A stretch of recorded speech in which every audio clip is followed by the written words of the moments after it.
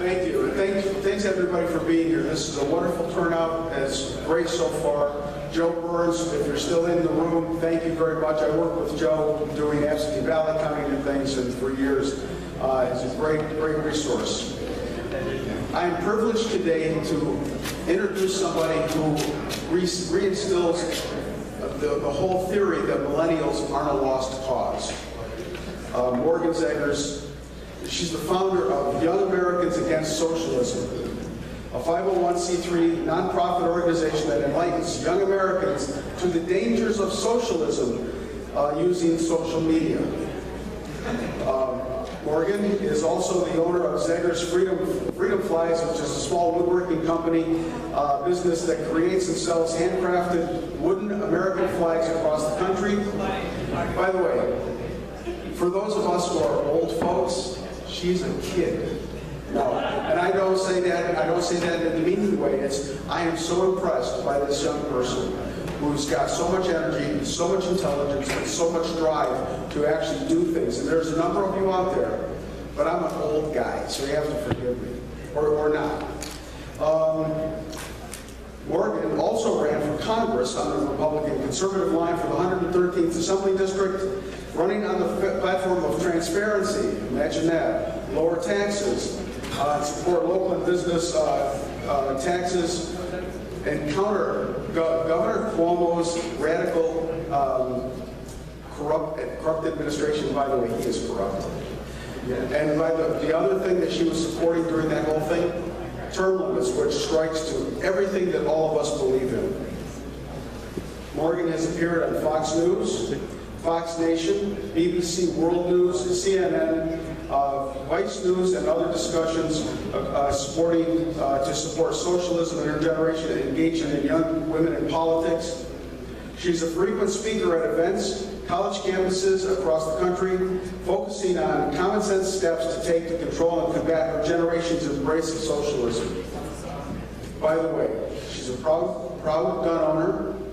Like I said, she supports term limits, and her major in college, to give her a little bit more credibility for all of what she's doing, was, among other things, economics. Ladies and gentlemen, I'm proud to say I just met her, but I'm glad I'm introducing her. Morgan, come on up.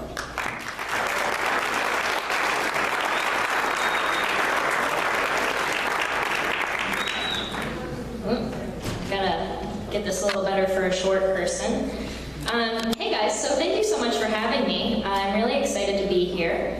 Uh, I am the founder of Young Americans Against Socialism, so I'm really happy to be at the Conservative Party event. I think that our values really align, and so I'm happy to be here to talk about the ways I think the Conservative Party can take my message and move it forward with uh, your policy, your platform, and the ways you reach my generation for the years to come. So uh, I want to talk to you about a few things today. I'll keep it fun. I love to use socialists in their own words because it's the, the clearest form of communication. And it, you can believe me all you want, or you can not believe me. But when they say it, and when the words are coming out of their mouth, that's when you really know uh, where their values lie, and that's in socialism. So first, I want to tell you a little lesson I learned about my communist roommate, and uh, and then I will tell you what socialism is because there's a lot of confusion about what socialism is versus what democratic socialism is, what Nordic European economics is, and uh, we're going to set the facts straight there. The second, or the third, um, defining our enemy. Who is the enemy in the fight against socialism, in the fight against my generation specifically embracing such a deadly ideology? Uh, then I have three topics. I've done a lot of research on the three ways that all socialist movements throughout history have really made an effort to get the population to support such radical ideas and how those tactics in previous countries and previous movements really are emulated in the American left's movement today to get my generation to embrace socialism.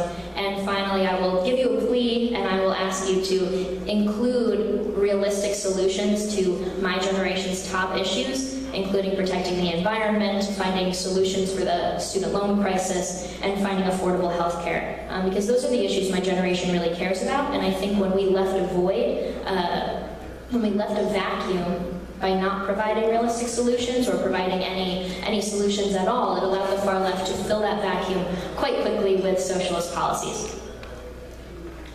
So, I'm from upstate New York, and I speak all over the country, and I've never spoken about this in upstate New York. This is my first time, so thank you for having me. I'm uh, from Washington County. I was from Saratoga County, and as he mentioned earlier, I ran for state assembly, so thank you for endorsing me. I was the Conservative Party candidate, and I appreciate everybody's help uh, throughout the campaign in this room. Um, I have a Zegers Freedom Flags. It's a woodworking business where I make wooden American flags. I hunt and fish on the weekends. My dad is a colonel in the U.S. Army. He served in Operation Iraqi Freedom, and during 9/11, uh, the day after he was called down to serve. So I'm very patriotic. I love what our country stands for, and uh, clearly I love upstate New York. So my values, I think you can see who I am as an individual. And I, I tell you this, and I show you these pictures to really set the stage for the experience I had when I went to college. I went to American University in Washington, D.C., and oh boy, I, I, thought I was going to a very patriotic place because I love upstate New York and I love America. And to go to American University, I was like, oh my gosh, this is so cool. It's going to be so awesome to be in my nation's capital and advocate for veterans and do all the fun things. But uh, it wasn't that. It wasn't like that at all. Uh, American is 90% liberal, if anybody knows of American. We're also the number one most politically active campus in the country. So again, very different from upstate New York. I had a lot of instances in the classroom that you read about and see on the news. Uh, Campus Reform is a really great conservative organization that calls out professors who are radical uh, in their teachings. But I had one professor who said Republicans in the South only vote Republican because of one, immigrants are down by the southern border and we don't like them, and two, race. And then he moved on to the next lesson. That was the lesson that my professor had taught an entire classroom of students, and I was really disgusted. Uh, another time we had Black Lives Matter. The group on campus was called The Darkening, and they wanted a safe space of people of color only, and they only wanted to let these people of color into a cafe, a segregated cafe. They wanted a segregated cafe on campus, and to get this, they decided to block the entrance and exits of the only main parking garage on campus at the end of the day. So when people were either leaving and trying to get home to their families, or when people were getting there after a long days of work, day of work, and they were just trying to get to their night class. So they decided to block the entrance and exit until they got a segregated cafe on campus. Really great stuff. Um, and of course, American University, if I can describe it in one picture, they burned the flag when President Trump won on election day. Um, I'm glad I was at Congresswoman Stefanik's victory campaign party and not on that campus because I probably would have gone berserk. But American University, a lot of interesting experiences, but my weirdest experience really topped them all when I moved off campus into a house with some girls at the, my last year of college. I, I, knew some of the girls, but I didn't know some of the others. And so I went around my room and I introduced myself to these new ladies. And one of them was very nice, and we're getting along and we're talking. And, you know, we're really hitting it off, but I was getting a little distracted because I saw something on the wall behind her, and I'm like, talking to her like, oh yeah, okay, okay. And then I'm looking at the wall, and then I'm looking back at her, and I'm looking at the wall, and I realized, oh my gosh, uh, this was the poster on her wall. And you, you guys know those guys? Um, I took me a minute, but I, I looked at the wall and I was like, wow, I have really only seen these people in a black and white documentary on the History Channel or in a textbook, in a black and white picture in my history textbook in high school. It's Mao Zedong, Lenin, Stalin, Karl Marx, and Fidel Castro. Uh-huh. And so I looked at my roommate again and I'm like, huh, what, what's that? What is that? And, and she looked at me with the biggest smile on her face and she said, oh, I'm a communist. Yeah. I didn't say anything for a little bit because it, it, it was a lot to digest. These are mass murderers and dictators holding fruity cocktail drinks and wearing party hats. And it was on the wall of my communist roommate who has been through the entire US education system. And for some reason, believed that communism would best help people that were poor and struggling in the United States of America. So I'm here today because I really am concerned. About November 2018, I saw a poll from Gallup that said 58%, a majority, it's official, would choose socialism over capitalism for the future of my uh, for the future of the country. 58% of people my age. And it was really disgusting to me. Um, but then I also saw victims of communism came out with a poll that said one in three millennials view communism favorably. Said 70% of people my age would vote for a socialist.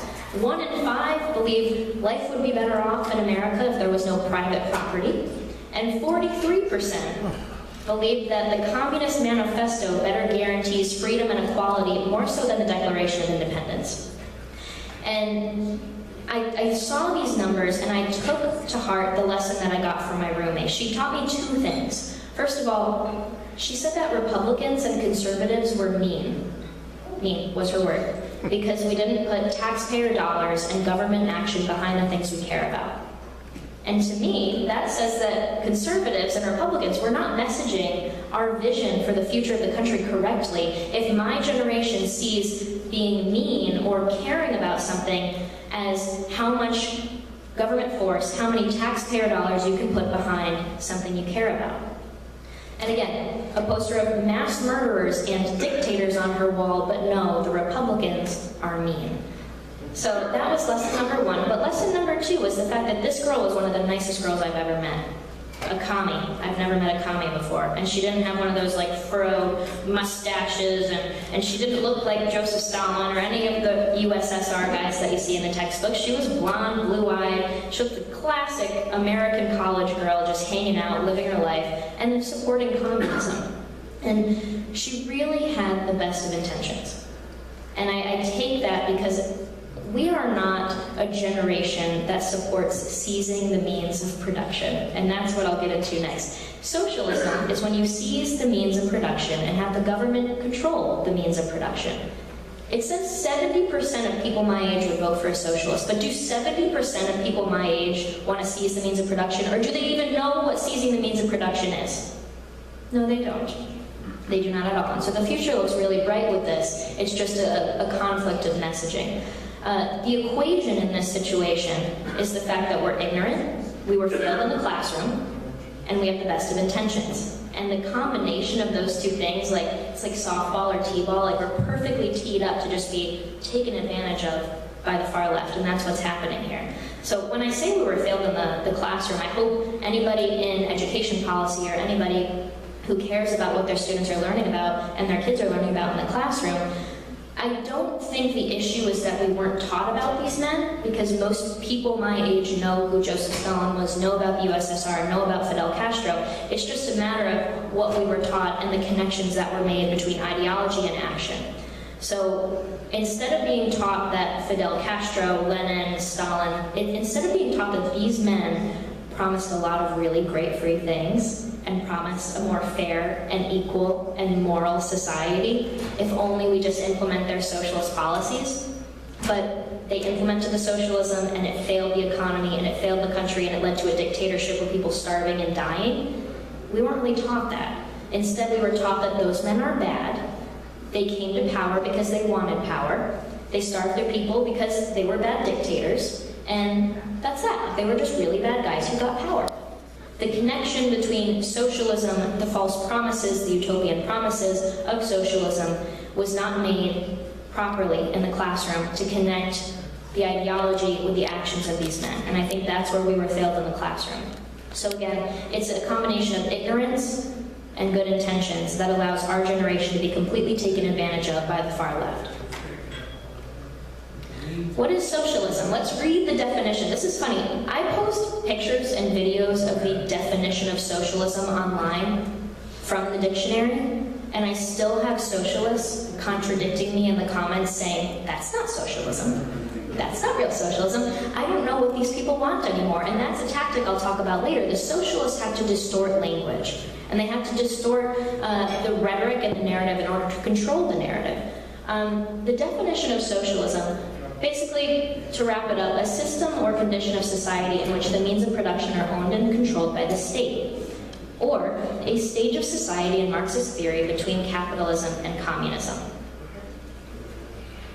So, when you hear Bernie Sanders in 2019 go on MSNBC's town hall and tell us when he's talking about democratic socialism, he's not looking at Venezuela. He's not looking at Cuba. He's looking at Nordic Europe, places like Denmark and Sweden. Do I believe that guy? No, I do not. Because Nordic Europe relies on capitalism, private entities doing business. Venezuela and Cuba, the countries he has been praising for decades, are socialist. So I don't really trust the man for all of a sudden flipping his ideology and promising our generation that if we scrap capitalism, we'll end up like Nordic Europe. It's the biggest lie that everybody in this room should be aware of, and it's what young people in your life will use to justify why they support him and why they support socialism. So I hope you take that with you when you leave this place. Like I said, Venezuela versus Sweden and Denmark. Venezuela seized the means of production, same with Cuba, same with the USSR. They had government controlled industries. Major parts of the economy were controlled by the government. In Nordic Europe, yes, they have high taxes. Yes, they have big government programs. But it's important to distinguish for my generation when we're talking to them that they have a capitalist society and they rely on capitalism to create the wealth to pay for the big programs. And the fact that they're struggling to pay for those big programs is a separate topic, and I would love to get into that, but I'm not gonna. Um, but it's important to make that distinct. Uh, it's important to distinguish the two. If you could play this, brother.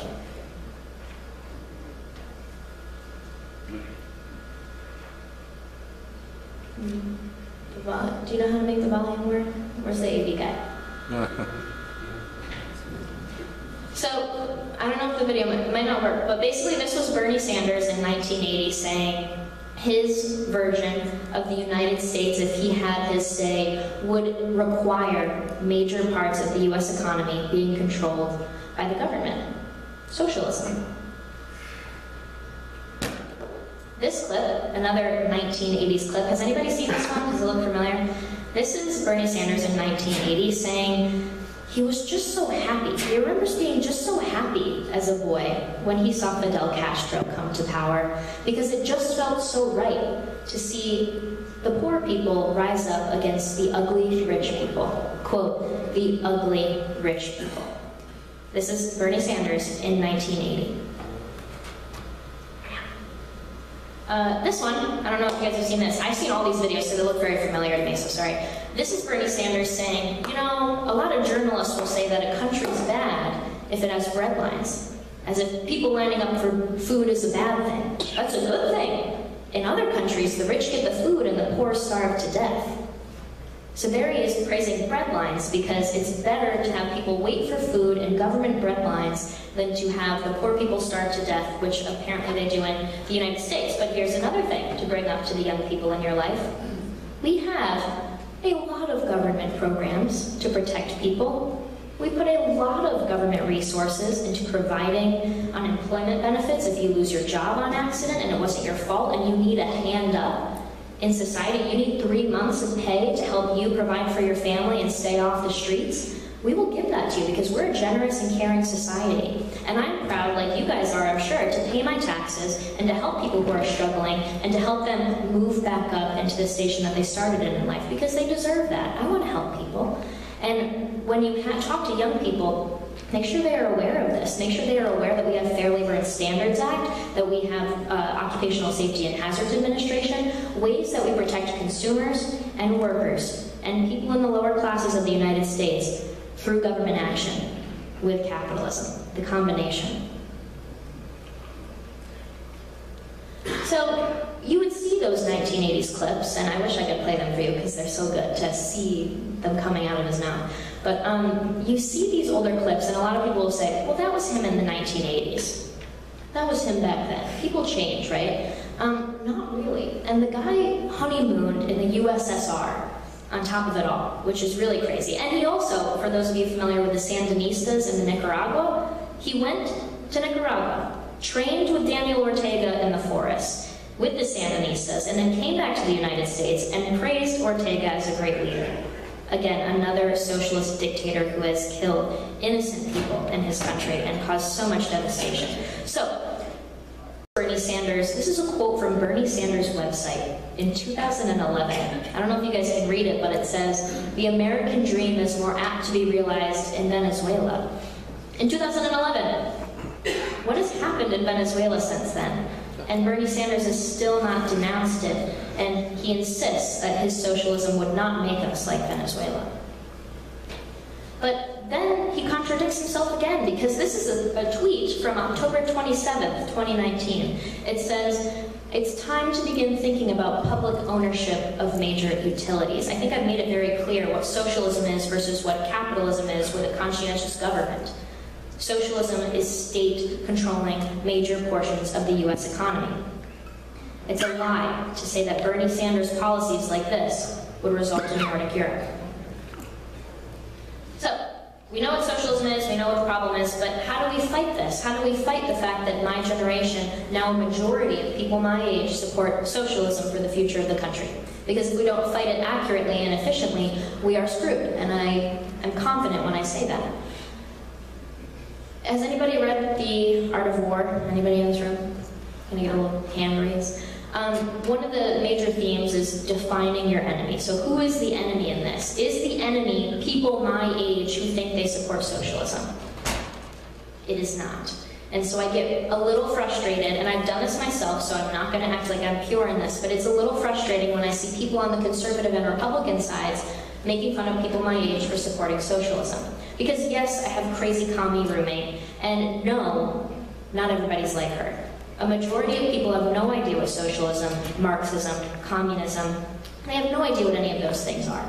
They have no idea what it even means to have the government control an industry versus what capitalism and private uh, market business really are at all. They have no idea about these things. And so this is not a, a situation of fighting the millennials and Gen Z who support socialism. This is about equipping them with the truth about socialism so they do not get taken advantage of because I'm embarrassed by my generation's support of this. It's embarrassing at this point.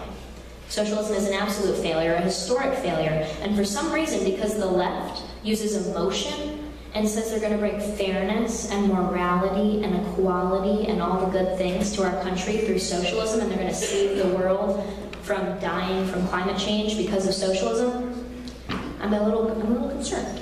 So, I think the enemy here is Bernie Sanders and the far left leaders who know exactly what they're doing when they tell my generation that capitalism is bad, and if you scrap capitalism, you'll end up like Nordic Europe. It's a lie. And that's our real enemy here. So I ask everybody in this room, please don't make fun of the young people. I've done it. I've done it a lot. And I've said, oh, stupid millennials with their avocado toast and they're tweeting on their $1,000 iPhones about how they hate capitalism. It's so hypocritical, blah, blah, blah. I've, I've done it before. But I'm asking people in this room to take a more, um, a more appreciative tone with them because they want to help people. Oh, sorry. So I, I, just ask everybody in the crowd to, to take a, a, nicer tone when you're talking to young people because think of my communist roommate. She wants to help people and she wants to help the people that are struggling and she wants to solve the problem. So if we provide them with realistic solutions that will actually bring real results for the American people, we could win this. We really could. Because the left has emotion on their side, and that's how they use it to win over every single argument. But we have logic, statistics, economics, facts, and emotion on our side because people have literally put their lives on the line by sailing over on a raft from a socialist country just to reach the land of the free, the United States of America. How come we don't tell those stories? How come we don't take that emotion and use it to our advantage the way the left does? I'm sick of that. And so that's what my, my nonprofit, Young Americans Against Socialism, we film the stories of people who have lived through socialism, who have put their lives on the line to come here, and then we asked them questions about what it was like to live in socialism versus capitalism. And we put them on social media, but I'm not going to talk about that too much. So has anybody heard of Project Veritas? James O'Keefe? He's great, right? Um, so a few few months ago or so, I spoke on a panel with him in New Orleans. Um, and afterwards, we spoke about what I was doing with Young Americans Against Socialism and what he does. And he suggested, you know, you really have to catch these people that you define as the enemy. You have to catch them saying what they would say in private that they wouldn't say in public. And he asked me if you could catch them saying something that would help you expose them for what they are, what, what would you want them to say? And I said, well, I would want them to admit that they are socialists and they are not democratic socialists. That democratic socialism is just a facade. I said I would want them to admit that they support violence in order to get their policies implemented. And I also would love if we could get them to admit that they would get violent if they lose the next election, because I think they will. Antifa is on the side of the left, and they have already been causing and wreaking havoc in our communities just because they're not happy with the results of a political election. So he said, well, stay tuned because we're going to cover 2020, so maybe we'll get some information. And flash forward, I don't know if you guys saw two weeks ago, Project Veritas released clips, and the, the sound is off, but um, in the clips, they have multiple Bernie staffers uh, admitting that they believe Bernie is a true socialist, a true radical, that would take us beyond anything in Nordic Europe, and that he's just masquerading as a democratic socialist. And I, will, I wish I could show you these, these clips, but what's so concerning is that the Bernie Sanders campaign is hiding and they are not firing these staffers. They've said some really crazy stuff, and I'll show you throughout the presentation, but just keep in mind the Bernie Sanders staff campaign is standing by these staffers who have called for Republicans to go to re-education camps, who have called for gulags for billionaires, for billionaires to break rocks for 12 hours a day to really get them to learn what it's like to be working class. They say they're going to burn cities. Cities will burn if Bernie does not get the nomination. They say police will be beaten if Trump wins, that police will be the ones getting beaten. But what's funny is last week, the Bernie Sanders campaign called the police on journalists and had the police deliver the message to the journalists. Instead of giving a comment, they had the police give the comment that said the Bernie Sanders staff will be standing by the staffers that were caught undercover on video. And they just wish that they hadn't said that. And that's all they're going to say about that. So this is the clip, again, Bernie's masquerading as a democratic socialist, but he's really a commie. Now I want to talk about the tactics of the left. Like I said, I've done a lot of research. I've done a lot of um, kind of investigation into the different tactics used by socialist movements throughout history and how they are mimicked by the American left today in, in terms of how they use tactics to reach my generation specifically. The first one, they have to control the language, to control the narrative. The second, they have to create the, the, desire for forced wealth redistribution, because that's not a natural human desire. You have to really sow the seeds of that person has something that I don't have, and I'm going to use force to take it from them. And you need to instill that in the people before your socialist movement really takes flight. Uh, the third is they need to create a sense of fear and urgency. And they really have done that very well. Has anybody read The Road to Serfdom by Hayek? I hope everybody does. It's a short book, you guys. Everybody get that book after this. Um, Hayek talks about socialists throughout history changing the meanings of words that we always use as a society. So what it means to be moral, what it means to be fair, what it means to have equality. And I, oh, I wish I had my videos. Um, Bernie Sanders has recently been changing the definition of freedom, and it really fits perfectly with the predictions of Hayek in terms of how a socialist will change the meanings of basic words. So this video is not going to play, but it basically says, what is freedom? And then it's a bunch of young people that say, am I free if I have student loan debt? Am I free if I have high healthcare costs? Am I free if I only work my dead-end job to get healthcare insurance?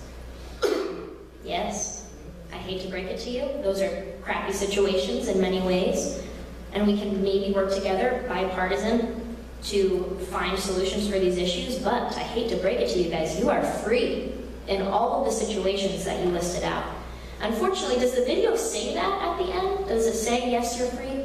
It does not. The video ends with, no, you're not free. Freedom comes from economic freedom, and economic freedom comes from Medicare for All, from student loan forgiveness, from the Green New Deal.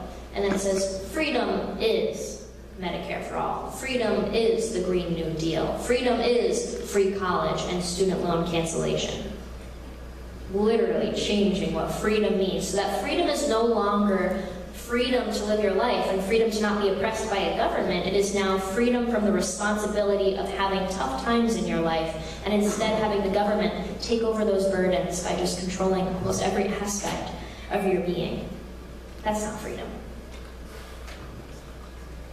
Uh, similar to controlling the language, distorting the language. Does anybody, I know everybody knows about the Green New Deal, but what about the Just Society? Has anybody heard of that? Weird, right? Because everybody knows about the Green New Deal. And what happened is AOC released a, I think it's five bills, one resolution, a package called Just Society, and she did it at the same time the story about impeachment broke. And so it kind of missed the news cycle, but I tell everybody about it because it's important to keep an eye on. Um, I just want to point out the distortion of language that she uses in three of these bills. The Embrace Act. I love hugs. I love embracing. But is the Embrace Act about hugs? No. The Embrace Act would qualify all illegal immigrants in the United States to every every benefit, every program, every to receive everything that a U.S. citizen would also be able to receive in terms of welfare benefits, etc. That's the Embrace Act uh, a Place to Prosper Act. I always make this joke and no one laughs, but I always say it just for fun. Um, Place to Prosper is national rent control. And for all the economists in the room, national rent control, the long-term result is homelessness. And so is the street really a place to prosper? No, it's not. Um, I have to say that every time. Um, Uplift Our Workers Act. What is Uplift Our Workers Act? Because I'm going to do that. I think we do that pretty well as a country, but Uplift Our Workers Act would actually make it so that the Department of Labor gives out government contracts based on how well that private business complies with the left's radical agenda that they can't pass through Congress and turn into legislation. So instead they just have, you know, guidance on, on what's moral for a business to do, like how many weeks they have of paid family leave, how much they pay their employees, etc. So instead of handing out government contracts based on how efficient a business is going to be with their use of taxpayer dollars, they want to have it handed out based on how well a business complies with the radical agenda of the left. That is Uplift Our Workers Act. So the second tactic they use is creating the need for wealth redistribution, the desire among the people, starting a class war. And that's what they're doing. I don't know if you guys notice this with the language that they use, with the way they talk about millionaires and billionaires, but uh, it's pretty bad. And I, I think what's crazy about this is you can trace back different socialist movements that have done the same thing and how they've done it and what they use to really pull at the, the heartstrings of the people. And it's very similar to today. Uh, so this is AOC. I don't know if anybody. Oh, Brookie.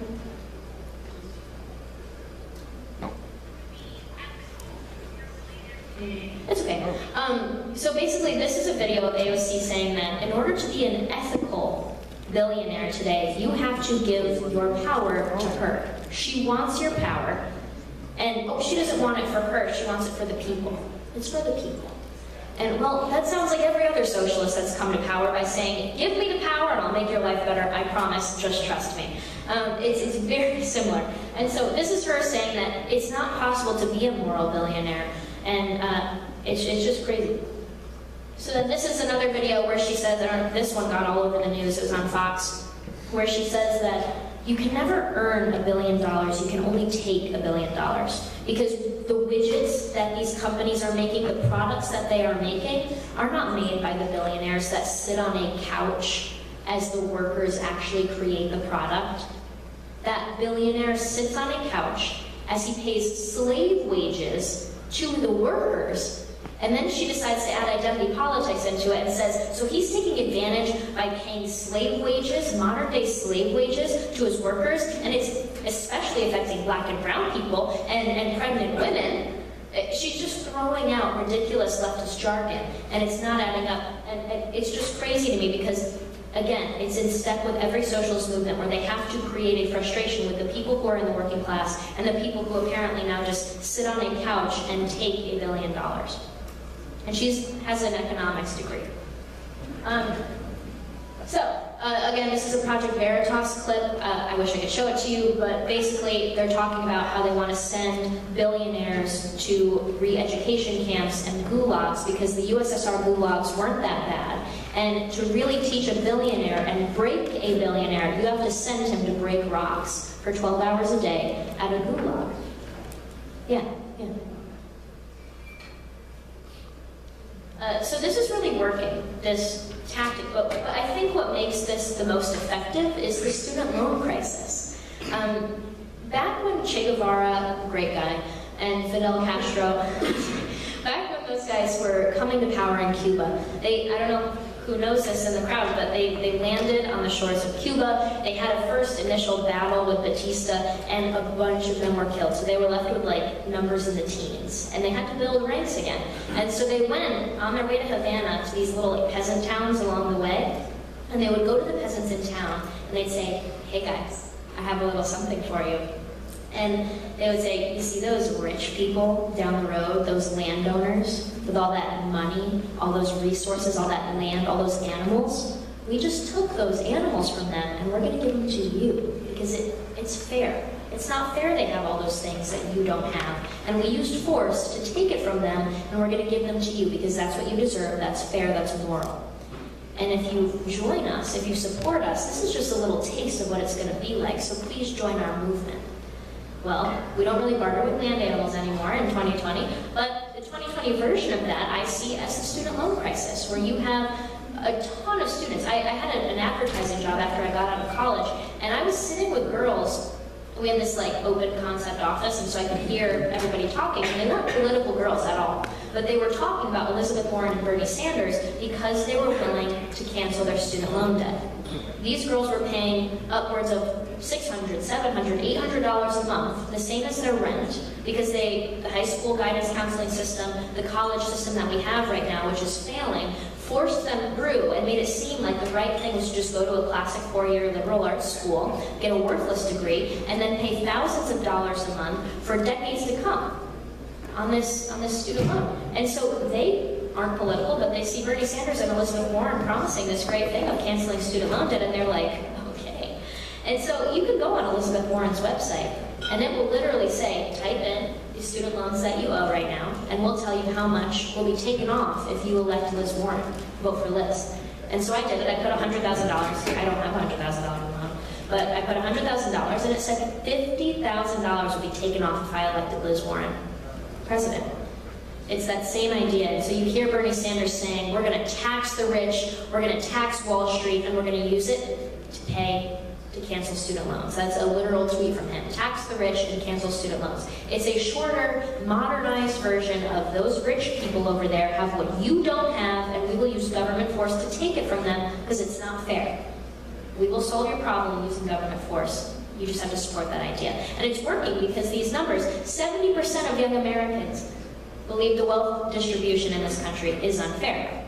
53% of young Americans support redistributing the wealth redistributing, and, and redistributing doesn't happen without force. fear and urgency. Um, the left, all socialist movements have to create a sense of fear and urgency to come to power and to really rile up the people to support such radical ideas.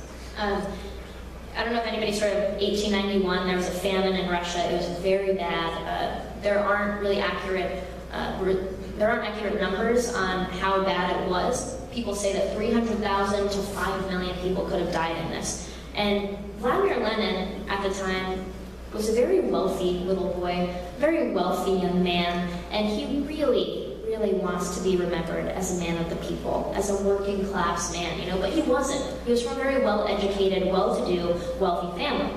And he is on record saying that he did not do a single thing during the famine of 1891 in his country, in his community, to help people from starving in the streets, even though he had plenty of money and resources, because he knew that it, things had to get very bad in his community and country and in the minds of the people before they would be willing to support such a radical idea like his desire for socialism and communism.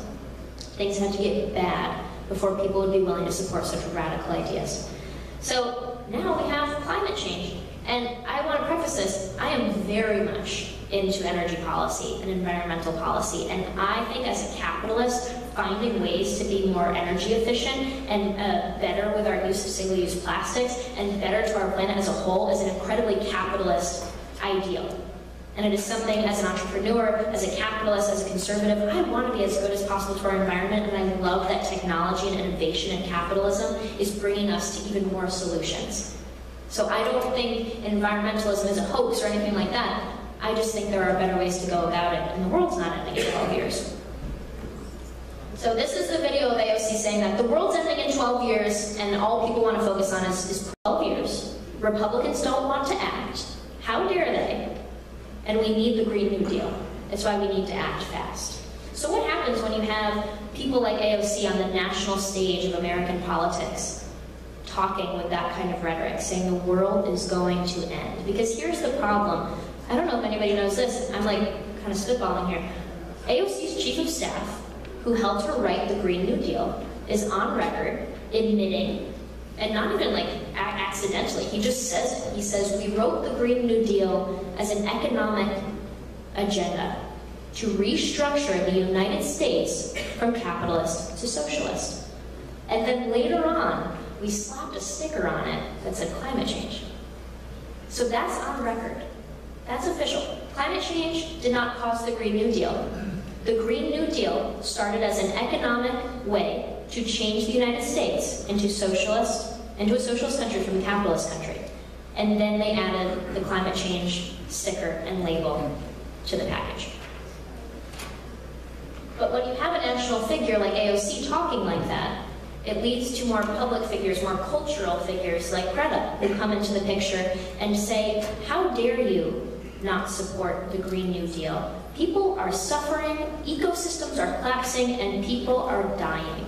That's the really tricky one. People are dying. But are people dying? Because there's two studies that we need to point out to young people. The UN had a study that said that the overall impact of climate change by the year 2070 is going to equate to about a, a 0.02 to a 0.2 loss of income worldwide by the year 2070, and that's including ecosystems. So is the world ending in 12 years? No. But another study, are people dying? No, because in the last 100 years, the number of people who have died and who are currently dying due to natural disasters and extreme weather has decreased by 90% because of innovative technology, because of capitalist solutions, because we're advancing as a society thanks to capitalism. People are still dying, yes, but the numbers are dramatically lower in the last 100 years, and we need to be thankful for that, and of course find even better solutions, like us conservatives always do, to help save those last people that we need to lift up. So when you have Greta, the public figure who's not necessarily political, and you have AOC and all the Green New Deal Dems and the presidential candidates all saying the world's going to end in 12 years, that results in this video, which I could show you if I, I wish I could. But um, it's a video of a dad and a young girl, and he's got his arm around her like this, and they're at a climate rally a few months ago, and the girl is asked, why are you here? And she says, well, my dad says we might not be alive in a few years, and so I'm here to help protect the planet. We're, we might not be alive in a few years. A few years. That's child abuse. I don't know if you guys agree with me on that. I think it's child abuse. You should have a child and then bring them up in a world feeling safe and secure and confident that they're not going to die in three years if Republicans and the evil conservatives don't act on the Green New Deal. That started as a socialist economic transition for the United States. And this is where it really gets bad. Um, you know those climate change rallies that have been happening? They do these like Friday things. Jane Fonda gets arrested at them every Friday. Mark Ruffalo recently got praised at one because he's wearing the one suit to all like six award shows this year. Bravo. Um, really acting very vigorously. Um, so this is what happens when you have such such language and such radical policy proposals around climate change. These climate rallies are being infiltrated, and these are just some of the posters. I literally just Googled climate change rallies in the US on this date a few weeks ago, whatever, whenever I made this. And throughout the pictures, these were hidden amongst them. Capitalism is the crisis. So of course there was little girls holding like a picture of the planet Earth. And there was ones that say like protect Mother Earth and be good to the planet and recycle. But these posters were hidden throughout the pictures. Capitalism is the crisis. High school students see our future sold. Capitalism kills. Revolution is our only hope. And then capitalism destroys the planet. We need revolution, nothing less. The socialist and communist movements have really used climate change to infiltrate uh, average politics, mainstream politics, and, and the fact that socialism is now mainstream is sickening to me. But here's where it gets even worse, because now capitalism and, and really modernizing and ma making socialism mainstream is infiltrating the other issues too. So who knows of Che Guevara? Anybody know that guy? Again, great guy. His nickname was the Butcher, because he is a horrible man. Uh, he killed LGBTQ people specifically because he just thought they couldn't properly contribute to the revolution. They weren't proper revolutionaries because they were inhibited by their gayness. Um, and so this is what's just golden. You have the close the camps rallies. And again, Che Guevara ran Castro's number one killing camp and prison for all the political um, prisoners that they had who were against the communist re revolution in Cuba. Che Guevara ran the camp. But because the left says that the concentration camps on our border, aka Border Patrol's buildings, are concentration camps, they had close the camps rallies. And if you look, you can't really see, but these pink posters, like eh, above the clothes on that one, it's a pink poster. That's Che Guevara. Right? Crazy? At a close the camps rally, Che Guevara's face is being held by a bunch of high school students who skipped school to close the camps, but they're holding the face of a man who ran a killing camp in Cuba. The butcher. So, mm, not adding up here. Um, and then this one at the top, this is Che Guevara's face at an LGBTQ pride parade. Again, he killed those people because he didn't think they could properly contribute to the revolution. Killed them. And then again, there he is and another one of the close the camps parades. So, I guess to wrap it up here, I'm sorry if I went over, I'm not even sure how long this has been, but very good. Um, again, I wish I could show you these Project Veritas clips, but this is the staffer saying, there are so many of us in the Bernie Sanders campaign. And he says, what's most troubling, it carries in that, that aspect of creating fear and urgency around climate change in order to get this socialist radical agenda implemented. Here he says, communism is all about protecting people and planet. And our communist revolution is no different than the revolutions throughout history. It, if you are against the revolution, you deserve to expect a violent reaction. Again, he ties communism to planet and people, says that to act in urgency for climate change, you need to act with urgency for the Green New Deal and socialism and Bernie Sanders' agenda, and that if you are against this revolution, you should expect a violent effing reaction. And then he goes to justify it by saying, you know, people say Che Guevara and Fidel Castro were that bad because they also had these atrocities where they killed the anti-revolutionaries, the people that were against their movement. Well, I mean, if you're against the movement, then you've got to get out of the way. And if we have to exterminate people, then that's what we'll have to do. And just a reminder, Bernie Sanders' campaign, they sent police to journalists who wanted to comment on this story, and they had the police tell them, we are standing by these employees, they will not be fired.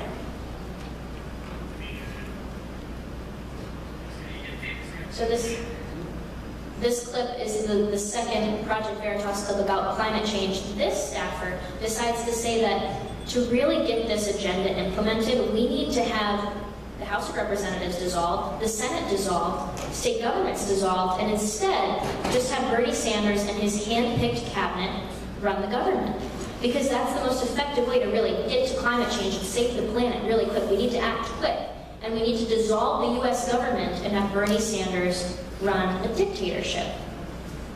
And again, he still works for the Bernie Sanders campaign as a paid staffer, and they're standing by him, and he's still going to work for them for the near future. So, sorry if I went on a little rant there, but it's really frustrating to me that my generation is being taken advantage of and lied to. So it's up to all of us to communicate with the young people in our lives that conservatives have proper solutions for the student loan crisis, that people earn money without taking it. They can earn it in an ethical way in this country. That's the beauty of business and capitalism. and that the world is not ending in 12 years. And conservatives have some of the best solutions to protecting our environment that we've seen. We have carbon offsetting, we have carbon capture technology, we have nuclear energy and nuclear power. We have a lot of ways that we can properly fix these problems, but I think as a party and a movement, we're not effectively messaging it to young people. So I hope that as, as a party and, and as a, a conservative movement, we can work together to find and message these, these pieces of information to people my age in a better way, to show them the beauty of business, how moral capitalism is compared to uh, the failure that socialism really is. And so I just have one ask. If anybody knows people who have lived through socialism in the crowd that would be interested in doing a video with Young Americans Against Socialism, we've gotten a million views on a video in 24 hours. We had uh, over 45 million impressions on our videos in two months. We've really been working hard on this. We've been around for six months, but we've gotten some serious numbers. We have over 110,000 followers, and we just want to use that platform that we've been blessed with to propel the story. So if you have lived through socialism, if you know somebody, or if you have a business and you're interested in talking about that aspect of building a business up, or if you have your own American dream, it's all about telling your personal story and, and relaying that to my generation. Um, our website is fightsocialism.org. That's where you see all of our emails and everything. Um, and then you can also submit that you have a story that you'd like to tell. So thank you so much for having me. Uh, I don't know if there's time for questions, but I really appreciate uh, the time for you guys to listen and hear me out. Thank you.